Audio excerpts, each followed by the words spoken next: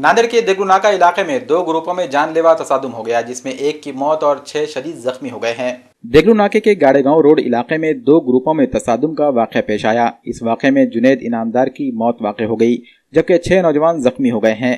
ان میں غوث انعامدار اور سراج کی حالت تشویشناک بتائی جا رہی ہے۔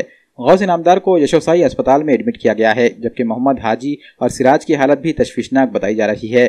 مناج الدین علی انعامدار اور محمد سکندر معمولی زخمی ہیں، انہیں سرکاری اسپتال میں بھرتی کیا گیا۔ فوج شدہ محمد جنید کو گولیاں لگی تھیں۔ محمد حاجی کو بھی گولی لگی ہے، جبکہ غوث انعامدار سراج اور دیگر کو تلوار اور دھار دھار ہتھیاروں سے شدید زخم لگے ہیں۔ پولیس نے گولی چلانے والوں کی تلاش شروع کر دی ہے۔ علی انعامدار اور سکندر پر تلوار سے حملہ ہوتے وقت کا واقعہ سی سی ٹی وی کیمرے میں قید ہو گیا ہے۔ گرامین پولیس اسٹیشن نے معاملے کی جانچ شروع کر دی ہے۔ پولیس اسے پرانی رنجش کا معاملہ بتا رہی ہے۔